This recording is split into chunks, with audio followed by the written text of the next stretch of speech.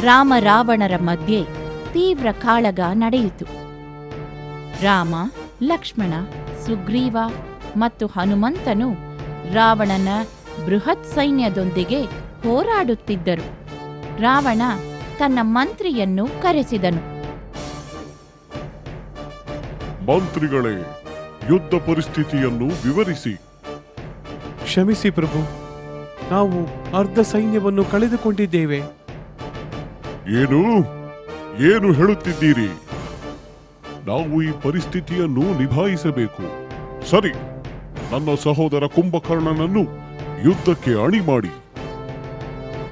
ಕುಂಭಕರ್ಣನು ಯೋಧನಾಗಿ ಚೆನ್ನಾಗಿ ಕಾಳಗ ಮಾಡಿದನು. ಆದರೆ ಶ್ರೀರಾಮನು ಅವನನ್ನು ಕೊಂದನು.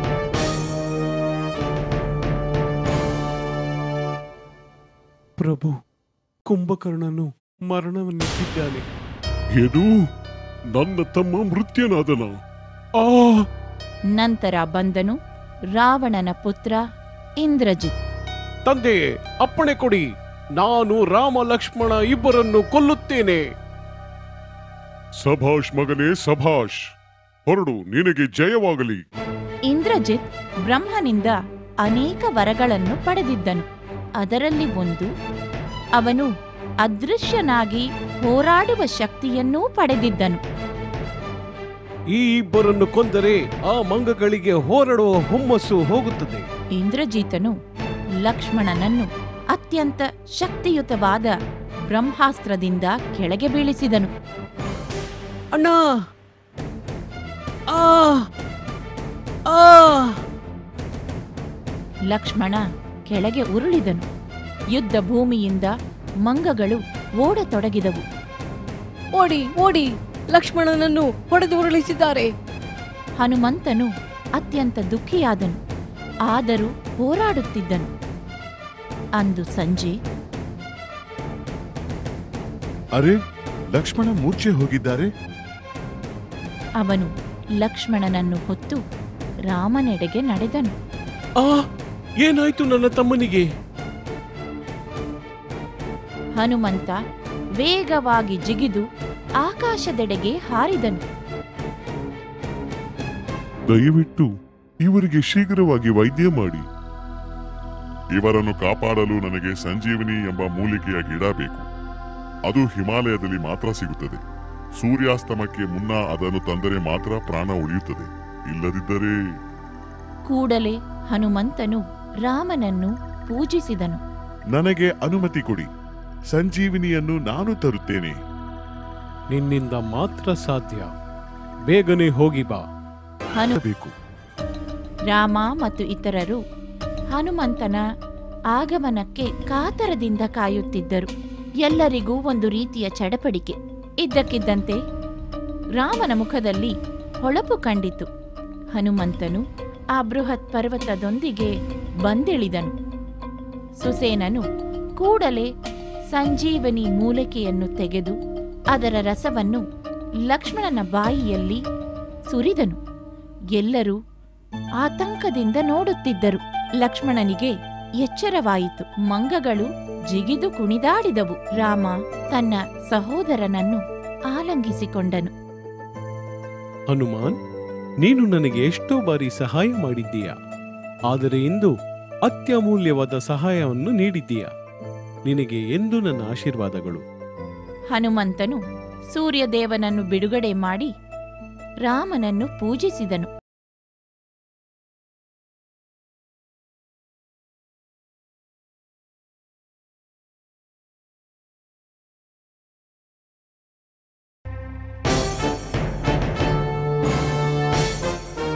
Fierce battle.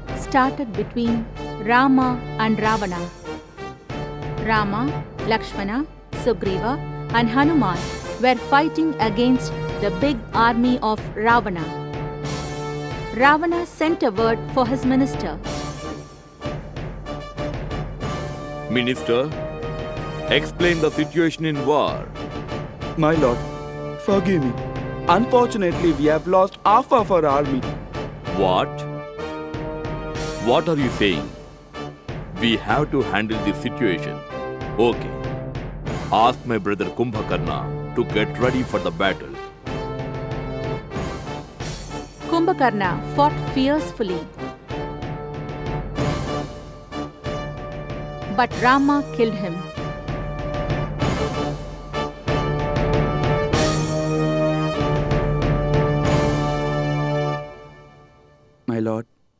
Kumbhakarna has been killed. No. I cannot believe this. Ah? There came Ravana's son, Indrajit. Father, order me. I will kill both Rama and Lakshmana at once. This is what I expected. Victory is yours. Proceed. Indrajit was blessed by Brahma with many boons. He can make himself invisible and fight. Is one among them. If I kill these two, then the monkeys will be heartbroken to fight anymore. Indrajit and Lakshmana fought. Indrajit attacked Lakshmana with a powerful weapon given by Brahma. Ah, brother! Ah!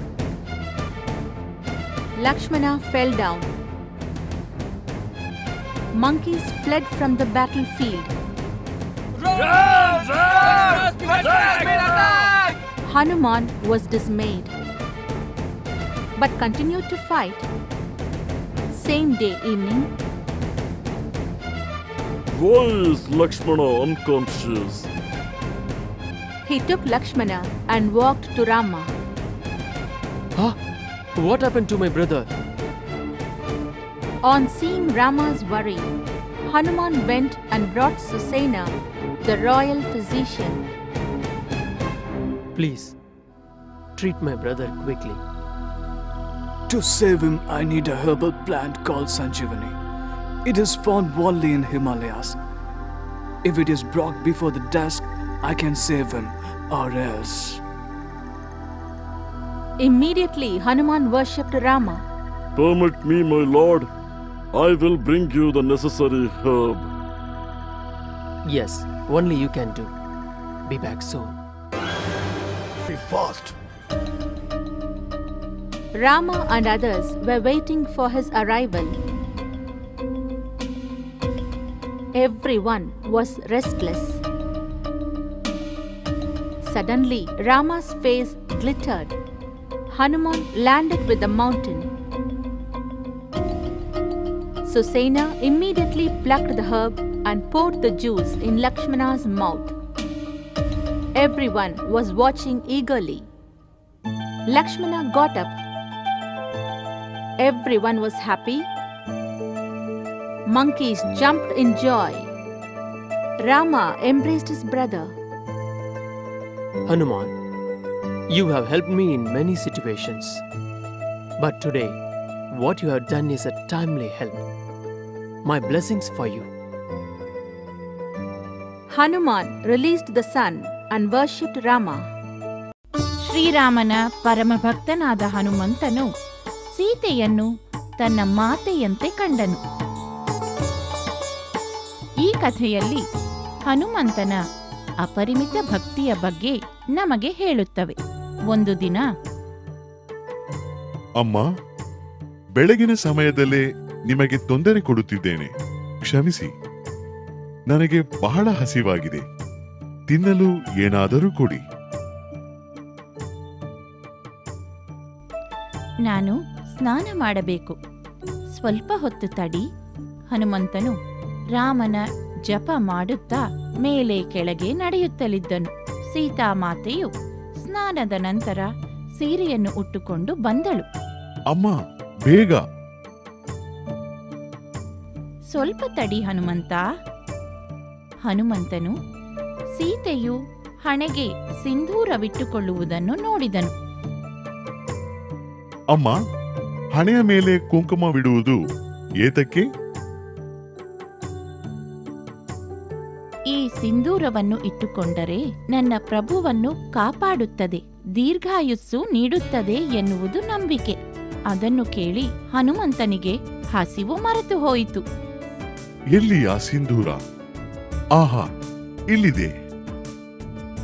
ಹನುಮಂತನು ಸಿಂಧೂರದ ಡಬ್ಬಿಯನ್ನು ನೋಡಿದನು. ಇಡೀ ಮೈಗೆ ಎಣ್ಣೆ ಬಳಿದುಕೊಂಡು ಅದರ ಮೇಲೆ ಸಿಂಧೂರವನ್ನು ಬಳಿದುಕೊಂಡನು. ಅದೇ ರೀತಿ ದರ್ಬಾರಿಗೆ ತೆರಳಿದನು. ಅಲ್ಲಿ ಎಲ್ಲರೂ ಅವನನ್ನು ನೋಡಿ ನಗಲು ಪ್ರಾರಂಭಿಸಿದರು. ಹನುಮಾನ್ ಏನಿದು? ಸ್ವಾಮಿ ನಾನು ಸೀತಾಮಾತೆ ಸಿಂಧೂರವನ್ನು ಇಟ್ಟುಕೊಳ್ಳುವುದನ್ನು ನೋಡಿದೆ. ಕಾರಣ ಅರಿತೆ. ನಾನು ನಿಮ್ಮ ದೀರ್ಘಾಯುಷ್ಯಕ್ಕಾಗಿ ಮೈಯೆಲ್ಲ ಸಿಂಧೂರವನ್ನು ಬಳಿದುಕೊಂಡಿದ್ದೇನೆ. ಇದನ್ನು ಕೇಳಿ ರಾಮನ ಕಣ್ಣುಗಳಲ್ಲಿ ಆನಂದ ಭಾಷ್ಪ ತುಂಬಿತು. ಇನ್ನೊಂದು ದಿನ ರಾವಣನ ಹತ್ಯೆಯ ನಂತರ ಶ್ರೀರಾಮನನ್ನು ರಾಜನಾಗಿ ಪಟ್ಟಾಭಿಷೇಕ ಮಾಡಲಾಯಿತು. ಎಲ್ಲರೂ ಸಂತುಷ್ಟರಾಗಿರುವುದನ್ನು ನೋಡಿ ರಾಮನಿಗೆ ಆನಂದವಾಯಿತು. ಎಲ್ಲರಿಗೂ ಶ್ರೀರಾಮನು ಕಾಣಿಕೆಗಳನ್ನು ನೀಡಿದನು. ಸುಗ್ರೀವನಿಗೆ ಪವಿತ್ರ ಶಕ್ತಿ ಇರುವ ಒಂದು ಹಾರವನ್ನು ನೀಡಲಾಯಿತು. ಈ ಅಮೂಲ್ಯವಾದ ಮುತ್ತಿನ ಹಾರ ನಿನಗಾಗಿ. ಸೀತೆ ಶ್ರೀರಾಮನು ಹನುಮಂತನನ್ನು ಬಿಟ್ಟು ಬೇರೆಲ್ಲರಿಗೂ ಕಾಣಿಕೆ ನೀಡುತ್ತಿರುವುದನ್ನು ನೋಡಿ ದುಃಖಪಟ್ಟಳು.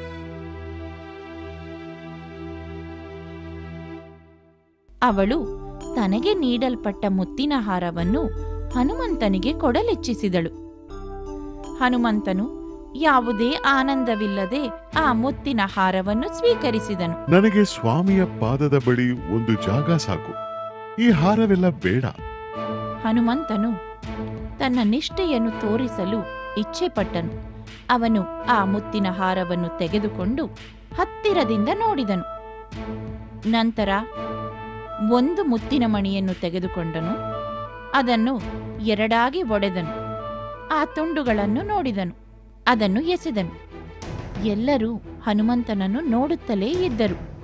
ಇದೇ ರೀತಿ ಮುತ್ತಿನ ಹಾರದಿಂದ ಒಂದೊಂದು ಮುತ್ತನ್ನೂ ತೆಗೆದು ಅವನು ಹೀಗೆ ಒಡೆದು ಅದನ್ನು ನೋಡುತ್ತಾ ಎಸೆಯುತ್ತಿದ್ದನು. ಈ ಮುತ್ತುಗಳನ್ನು ಇಟ್ಟುಕೊಂಡು ನಾನೇನು ಮಾಡಲಿ? ನಾನು ನನ್ನ ಸ್ವಾಮಿಯನ್ನು, ತಾಯಿಯನ್ನು ಒಂದು ಹರಳಿನಲ್ಲೂ ಕಾಣೆ. ಹಾಗಾದರೆ ನಿನ್ನ ಸ್ವಾಮಿ ಇಲ್ಲದ ಯಾವುದೇ ವಸ್ತುವನ್ನು ನೀನು ಹಾಳು ಮಾಡುತ್ತೀಯಾ? ಹೌದು. ಅದರಲ್ಲಿ ಸಂದೇಹವೇನು? ಹಾಗಾದರೆ ನಿನ್ನಲ್ಲಿ ಸ್ವಾಮಿ ಇದ್ದಾರೆಯೇ? ನನ್ನಲ್ಲಿ ಸ್ವಾಮಿ ಇಲ್ಲದಿದ್ದರೆ ಈ ದೇಹವಿದ್ದು ಲಾಭವೇನು? ನನ್ನನ್ನೇ ನಿರ್ಮೂಲಿಸಿಕೊಳ್ಳುತ್ತೇನೆ. ಹೀಗೆ ಹೇಳುತ್ತಾ ಹನುಮಂತನು ತನ್ನ ಎದೆಯನ್ನು ಸಿಗಿದು ತೋರಿಸಿದನು.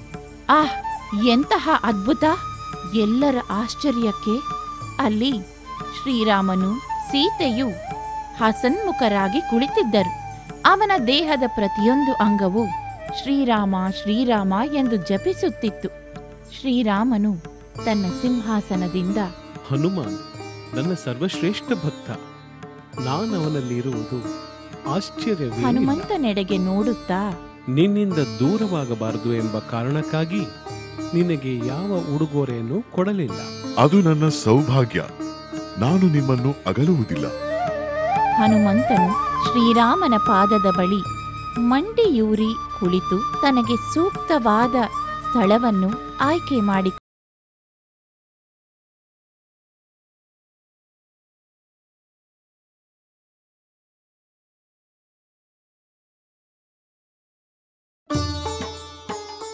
Hanuman, devotee of Rama, also treated Sita as his mother.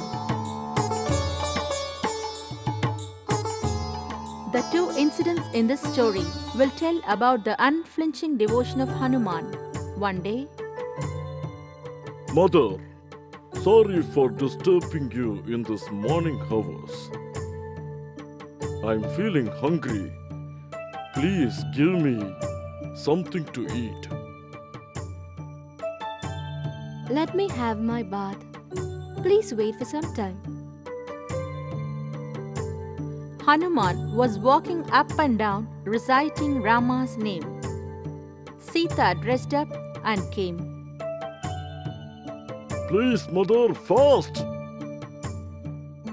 Wait, I'm coming. Hanuman saw Sita applying sindoor on her forehead.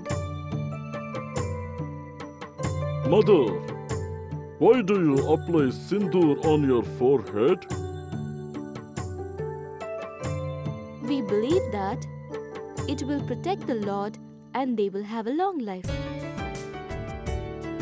On hearing this, Hanuman ignored his hunger. Where is the sindoor? Aha! It is here! Hanuman, who saw the sindoor, applied oil all over his body and sindoor on top of it. He proceeded to Darbar. There, everyone started laughing when they saw Hanuman in red color. Hanuman, what is this? My lord, I saw Mother Sita applying sindoor. Also learned the reason. So, I applied sindoor all over my body, so you will have long life. On hearing this, Rama's eye filled with tears of joy. Another day, Rama was crowned as king after killing Ravana. He was seated in royal throne with Sita. He was pleased to see everyone happy. He gave gifts to Sugrivan and for everyone. Sugrivan received a necklace which has sacred powers. Sita, this priceless pearl is for you. Sita felt sad when she saw Rama giving gifts to everyone except for Hanuman. She wished to give that pearl chain to Hanuman. Rama, who guessed this, said yes. Hanuman, come here. This pearl chain is for you. Take it. Hanuman took it without any sign of happiness. I wanted only a place at Rama's feet and not this chain of pearls. Hanuman wished to express his loyalty. He took the pearl and had a close look. Then he took one pearl and broke it into two halves and saw the pieces. He threw it. Everyone saw Hanuman.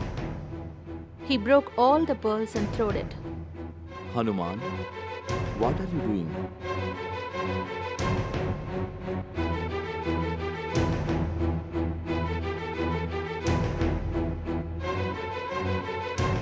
What do you expect me to do with these pearls? I cannot see my lord and mother in any one of these pearls. In that case, will you destroy anything that doesn't have your lord? Yes, without any doubt. Then, is he in you? If he does not reside in me, then what is the use of this body? I will destroy myself. Saying this, Hanuman proceeded to tear open his chest. And lo, what a miracle! To everyone's surprise, Rama and Sita were sitting in the royal throne. Every part of his body was reciting Rama's name. Everyone was astonished. Rama got down from his throne. Hanuman is my prime devotee. Me residing in him is not a surprise. Seeing Hanuman, I did not want to give you a parting gift and separate you from me. I am blessed. This is what I wished for. Hanuman kneeled down in front of Rama and took his rightful position.